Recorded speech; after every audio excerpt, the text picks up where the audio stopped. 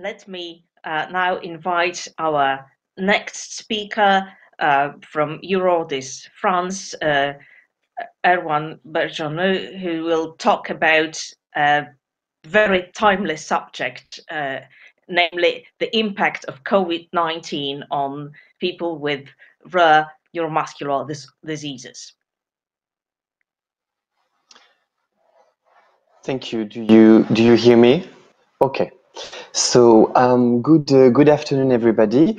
Um, I am Erwan Berjonneau. I work at EURORDIS. So for those who are not familiar with EURORDIS, it is um, the the European uh, Alliance of uh, Rare Diseases, and we have carried out a large-scale survey uh, last spring on the impact of COVID-19 on people living with a rare disease. And today I am very happy to present you the results um, of the people who live with a rare neuromuscular disease.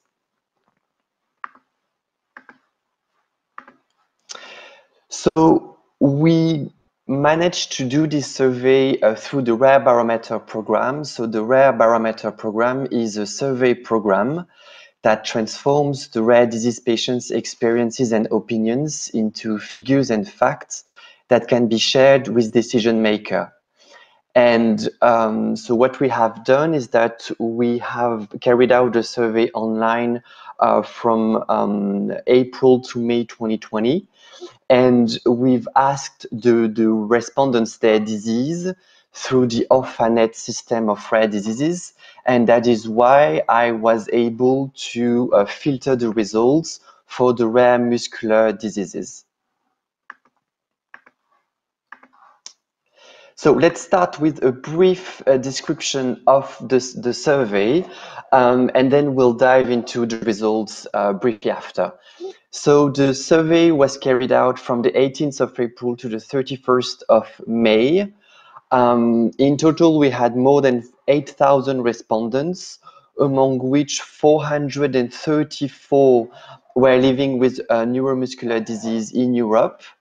There were among them 303 patients, 126 family members, also known as carer, and five patient representatives. So I can tell you what were the diseases that were the most represented in the sample.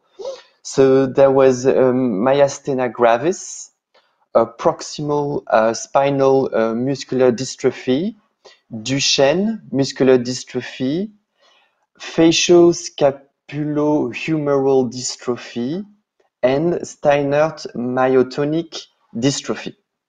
So that were the diseases that were the most represented in this sample, but there were also other diseases as well, all neuromuscular uh, related.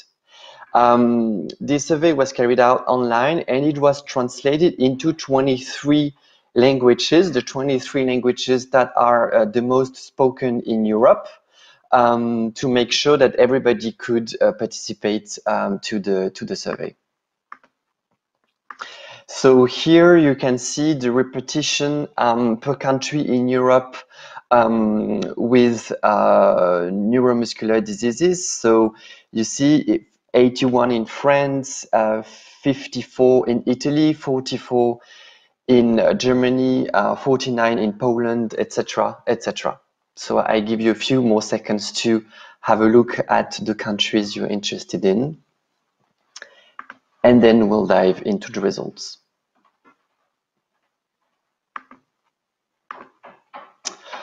So the results. The main key takeaway um, from this survey is the interruption of care that took place uh, during that first um, lockdown or confinement period. And we realized that 92% of uh, neuromuscular patients' care have has been disrupted. So this is massive. Um, it's more than 9 in 10 um, who saw disruption of care um, during that period. So we have split into six different types of care uh, that I'm going to detail in a second. So we're going to start with the medical therapies. Seven in 10 couldn't have infusions or other types of medical therapies during um, this period. Surgery or transplant, 7 in 10 saw their intervention cancelled or postponed. For medical appointments, 7 in 10 got their appointments with GP or specialists cancelled or postponed. For psychiatry follow-up, it's 6 in 10 who had their sessions interrupted. And now I'm referring to the previous um, uh, presentation that ended with questions on rehabilitation therapies. Uh, we saw how, how important they are. And um, this one actually was the one with the highest level of interruption.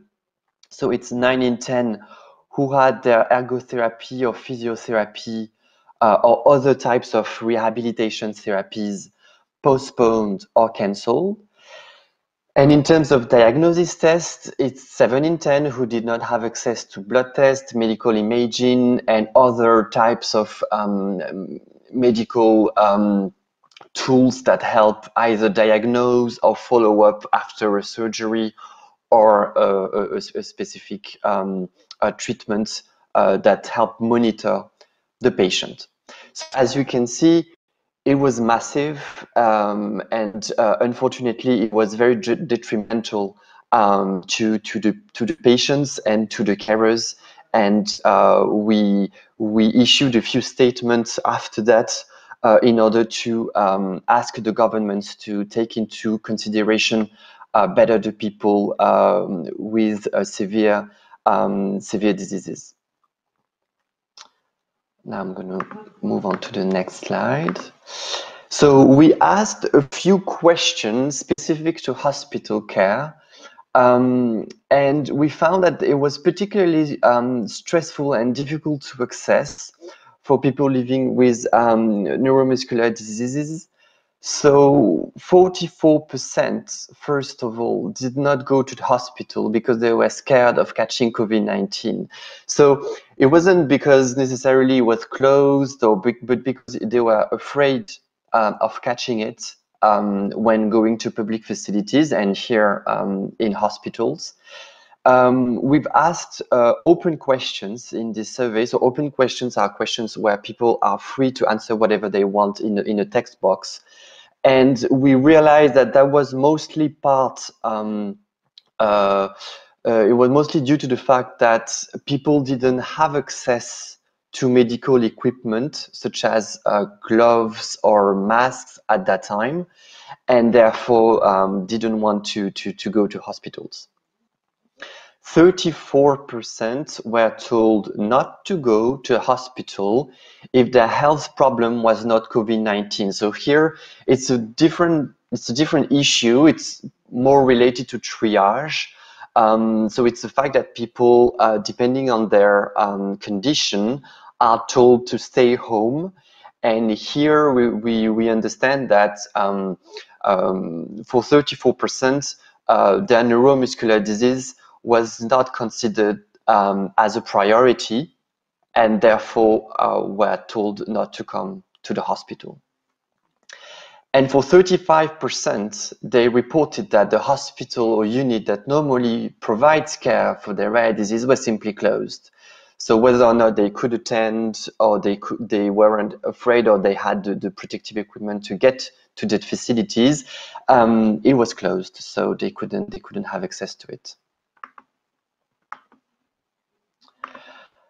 Um, now I have um, I have uh, pulled out a few quotes from um, the open question. All of the quotes that you will see during this presentation are for um, uh, rare neuromuscular diseases, and they are the two on interruptions of care. So a, a woman in France told us that the physiotherapists closed their cabinets and stopped coming which is more prudent. However, having no more physiotherapy sessions for myopath is difficult and the tutorials or other training sheets are far from being as effective or satisfactory.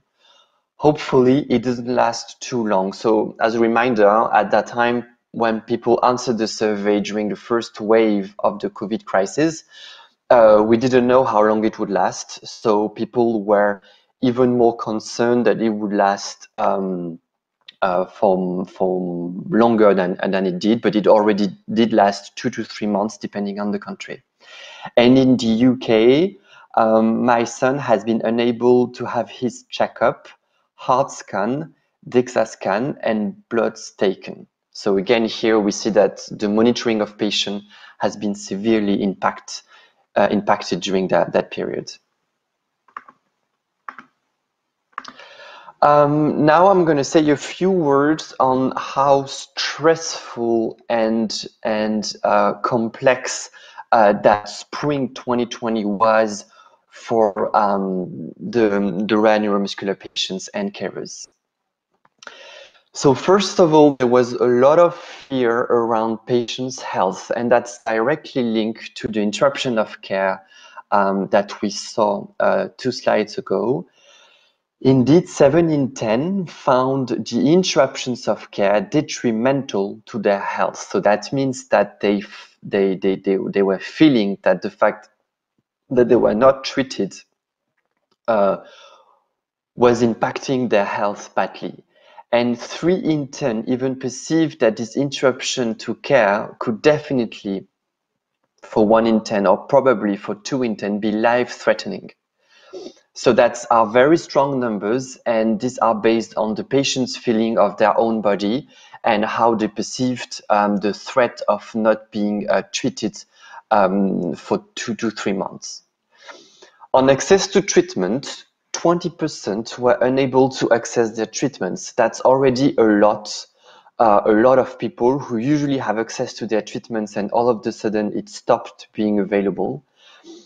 But what was interesting is that 81% of those who still had access to treatments reported fear that it would stop being available at pharmacies or hospitals if the pandemic continued. So on one hand, we had the people who who didn't have access to treatments anymore, but on the other hand, the people who did have access to treatments um, felt that the situation was very uncertain and we were fearing that it would stop any day. Um, and again, at that time, we didn't know how long the, the, the, the, the lockdown measures would last. Being well informed, uh, half of the, the, the, the, the, sample reported difficulties in accessing the information they needed on COVID-19. And that was particularly difficult for um, the rare disease and for um, rare neuromuscular diseases as well, because um, there was the, the, it was difficult to understand whether or not the condition was a risk factor um, uh, if the person becomes infected with COVID-19. So it took a lot of time uh, to to to figure out whether or not people were uh, at risk uh, and therefore needed to to to be extra careful. Protective equipment, well, that comes as no surprise. I guess for most countries, it got better today. Um, but for 7 in 10, they reported that it was uh, difficult or impossible to find plastic gloves, masks, and other protective gear. And uh, on mental health, uh, we asked a question on, on their mental health state, and two-thirds suffered from depression and or the feeling of not being able to overcome their problems since the start of the pandemic. So it comes as no surprise for the last item uh, when we see that people, um, it was a very difficult period for everyone, but it was even more challenging for the people with chronic diseases. Um, and uh, we understand that it didn't only had an effect on the body, but it had an effect on, on the mind, mind as well. Uh, here is a quote again from the open question um, that says, um, with, um, so it's in France, with my husband also ill, I felt very alone and abandoned. I lived in my bubble with fear in my stomach. At the bottom of my bed, between the sixth and tenth day, serious respiratory problems would suddenly arise. I was no longer standing, no strength. I had difficulty speaking, feeding myself. So that supports um, the the messages that we just saw in the previous uh, slide about the fact that people uh, were uh, having uh, difficulties for their health, and it had an impact on on their their um, their spirit. And so now uh, we're going to see um, how um, people living with neuromuscular diseases adapted rapidly to the pandemic. So um, I wanted to end this presentation with a more positive note that um, despite the fact that it was a very complicated period, uh, some solutions were found and uh, people were uh, surprisingly very uh, um, uh, Uh, adaptive to the to the situation. So first of all, e-medicine. So e-medicine took over from face to face when that was possible. So half of the people living with rare neuromuscular diseases have participated in online consultations since the start of the pandemic. And we know that it wasn't the case for most of them before the pandemic. So it proves that they changed their habits and um, found a way to continue being in contact with their uh, healthcare um, providers and professionals uh, in order to to to to monitor uh, their, their situation. And overall, they found it helpful. In particular, the prescriptions via email was useful the online education tools designed to help manage rare disease themselves was useful as well. And they found online consultation or any other form of telemedicine useful. Uh, before moving on to the next topic, I'd like to temper what I've just said with the fact that in the open question, we also had a lot of negative comments on the e-medicine. Um, first of all, a lot of people wanted to call their doctors or hospital, but never managed to do so because nobody was answering the phone.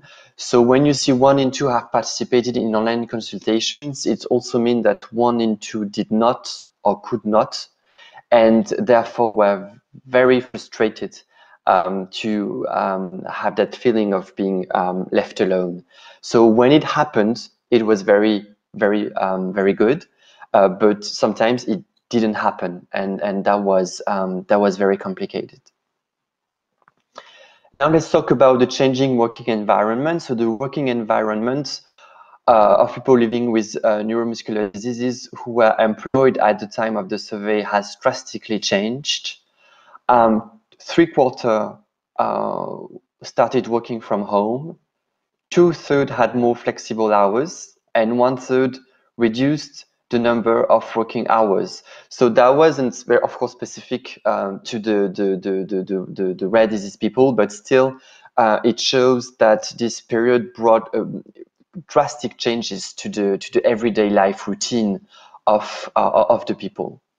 And I'd like to end with with this um, with this note is the, the, the, the tremendous role of the family, friends, and neighbors who were very supportive during the crisis.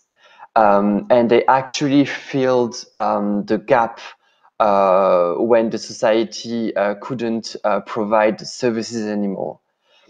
So 75% needed their family, friends, and neighbors support during the pandemic. And that's, that's a lot of people um, who told us that, in other words, um, they needed their family, friends, and neighbors to come by and help them um, in order to, to, to perform the, the daily tasks. And most of them declared that they still benefited from the help of their close relations despite the COVID 19 crisis, which wasn't the case when um, we asked them about other types of social care. Uh, most of the social care facilities were closed during that period, and the only remaining help was from the family, the friends, or the neighbors. And it was supported by the fact that we also asked whether or not the pandemic strengthened the family unit. And for 1810, it did strengthen the, the family unit. So it shows that within this this period, um, the families in which there were there was a, a, a neuromuscular disease had to be more cooperative and more listening to one another in order to um, to get through it and especially because most of the, the, the centers um, were closed and therefore couldn't um, welcome the, the patients or the carers anymore. And here we have a few quotes that will su that support um, uh, what I just uh, said. So in Spain, I am in contact with my doctor via email or phone for any questions or complications, which is appreciated because the internal medicine department is now overworked. So um, here it's about, um, you understood the, the, um, the, the, the e-medicine. And so we see that the fact that the, the, the, the GP was available um, was very helpful for the patient um, and especially because the internal medicine that takes place at the hospital um, was uh, probably not uh, very responsive due to the due to the the, the, the overworked of the, the, the, this period. In the Netherlands, um, a, a man told us that blood samples were taken at home and medicines were delivered at home results and changes in treatment were communicated by telephone consultation. So here we see that um, they, he managed to have a telephone consultation, but plus um, he managed to receive um, the treatments at home instead of having to go to the pharmacy or to go to the hospital. And that came out a lot.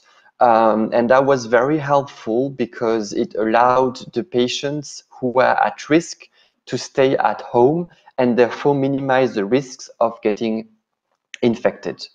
And in Serbia, a woman told us our association helped us procure the catheters because our pharmacy could not procure them. And um, I'd like to end with that, is that the that came out a lot in the open questions. The patient associations uh, provided a tremendous help um, to the to the patients and the carers. They provided equipment. So here we see catheters, but we had other testimonies about um, uh, masks, about uh, drugs, about a, a, lot of a lot of uh, equipments or, or um, or um, treatments that were very difficult to to to get a hand on. Um, they also provided um, the, the information they needed uh, for their rare disease in order to know whether or not they were at risk. And they also provided moral support um, that was very important um, during that, that period. Uh, so that concludes um, this presentation. I'd like to thank um, the EURORDIS uh, partners and corporate donor in 2020. And uh, I thank you um, very much for your attention. And if you have questions, I'll be happy to answer them. Thank you. Thank you. Um, that was very, very important set of data on the actual, you know, functioning of people with rare uh, diseases in Europe now. And uh, there are um, two questions. Uh, the first one is about uh, a follow-up. Do you plan any follow-up study to, uh, as you roll this to see how the burden of pandemic affects um, people with rare neuromuscular disorders, you know, on the way to recovery. So because we know that the, the, the healthcare systems are stressed. Mm -hmm. Yes, so that's a very good question. So um, uh, we are trying to do. Uh, it's just uh, a question of internal resources now because um, uh, the we had other surveys planned. We postponed them to do this this COVID survey. So now everything is. But we are trying to do that. Especially, um, we'd like to measure. Uh, one year after, so if we do it, we're going to do it uh, early 2021, so a year after. And uh, we'd like to understand better um, the, the, the life-threatening um, aspect of the interruption of care, because at that time it was just a month old or two months old, but now with a year of, um, you know, um, uh, perspective, uh, people will be uh, more um, knowledgeable in telling us whether or not uh, and how it really affected their health um, and their patient journey. Uh, so yeah, we, would like to do that. We are doing everything we can right now to put that in place, but I cannot say yes, it's for sure, but we're trying to do it. So we'll let you know um, definitely um, if we do it, but it's, uh, uh, it's, I want to say that it's probably yes, but we still need to figure out a few things internally. So yeah. Yeah, because that would be very interesting, and to see how countries are coping um, on yeah. on the way to you know, restoring you know standard healthcare services delivery. And the next question exactly. is, uh, how can you uh, can you see any uh, good practices or patterns emerging that can improve these e-medicine delivery when it comes to rare diseases? Yes, so it really um, so it was it really was so what we saw is that it really was depending on on individual initiatives. And what we would like is that it becomes um, more systematic uh, and that is why half of the people were able to get a hand on their doctor and the other half couldn't because it was really based on the doctor willingness to answer the phone at 11 p.m. Uh, at night, to answer emails as soon as they could. Um, we also even had um, testimonies of pharmacists who willingly brought the medication to the patient's mailbox um, so that the patient didn't have to go to the pharmacy. So we thought that was very good practice, but it was based on individual initiatives. So we cannot ask that um, every time. So we need to find a way to incentive uh, the healthcare professional to do more um, to to to get uh, to to keep in touch with the patient during that. It can be by telephone or email, but if the person um, has difficulties with the technology because very old or because very complicated to use a computer, that uh, home uh, home delivery or um, uh, um, consultation delivered at home being more the rule uh, when it comes in, in difficult times like this ones. So yes, we, we, we encourage to governments and, and local authorities to help the healthcare professionals doing that and not just asking them to do it on their free time, you know, as it was uh, mostly the case um, during that that period. So, um, but and of course, again, um, recognize the role of the family and the friends and the close relatives um, and the patient organizations. The the patient organizations need to get um, thank and need to get uh, funds for what they did. Uh, they provide a lot of equipment. They provide uh, helplines. They even organized conferences with um, with doctors who were specialists in the rare disease and and and help shed light on whether or not the rare disease was a, a risk factor, and that cost them money, it cost them time, and um, they didn't necessarily get the funds to do it. So um, you know, recognizing all those important partners that did did it uh, on their on their free time, and uh, so yeah, that would be tremendous. Yeah, yeah, we need some sort of standards. I mean, it's good to see yes. that people are coming, and it's like a you know uh, a silver lining on this cloud pandemic cloud. But yet we need a standard, and it will be interesting yeah. to see whether this kind of standard emerges. Thank you so much for uh, sharing this My data pleasure. with us.